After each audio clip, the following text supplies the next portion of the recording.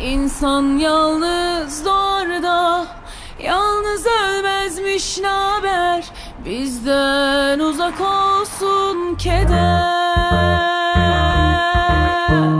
Sormana hiç gerek yok Yanmışım tarifi